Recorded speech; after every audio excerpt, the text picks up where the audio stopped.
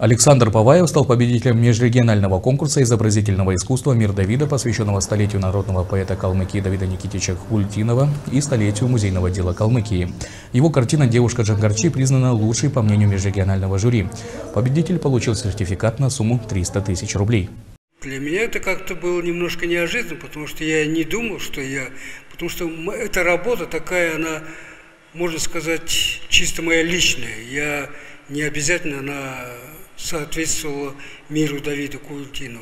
Ну, так вот чисто гипотетически или еще как-то ее можно соотнести, потому что я таких работ, ну, примерно таких работ, что-то делал похожие. Ну, и я выставил эту работу, ну, думал, ну, отметит как-то, но не думал, что первое. Есть у Давида Никитича такое стихотворение «Девушка Джангарчи».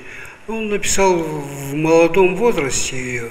Это мое, мое понимание этого, этого стиха и как я захотелось мне изобразить.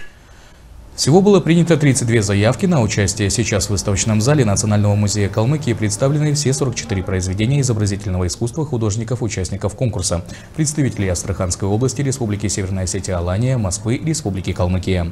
Второе место, сертификат на сумму 200 тысяч рублей, разделили между собой Олег Чудутов и Юрий Хаджинов. На третьей строчке расположился Роберт Каркусов из Республики Северная Осетия Алания, его гонорар составил 130 тысяч рублей. Четвертое место и сертификат на сумму 100 тысяч рублей получил астраханский художник художник Виталий Глазков за работу «Подсолнух». А в категории студенты вузов и СУЗов отмечена картина студентки второго курса колледжа искусства имени Александры Берчиевой. Она стала обладателем премии в сумме 70 тысяч рублей.